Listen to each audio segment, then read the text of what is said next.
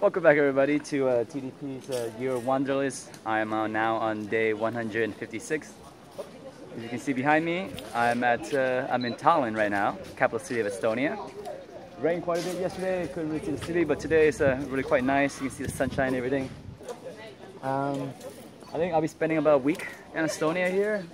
I'll be here until Saturday and then heading to uh, Tartu, which is a university city in Estonia, and then from there head on over to Riga, Latvia, and hang hang there for like four or five days, and then off to Lithuania. Anyways, didn't really get to see much of uh, of Tallinn yesterday, but I mean, the old town is actually UNESCO heritage, so it's quite pretty. Um, and then just had a little nightlife last night. It, was, it actually it wasn't that great. It's a lot of dudes, not that many people, not that many people. Um, so if you're gonna go out, I, I, would say just stick to the usual Thursday, Friday, and Saturday. Uh, I'll try again tonight. See how see how it looks like.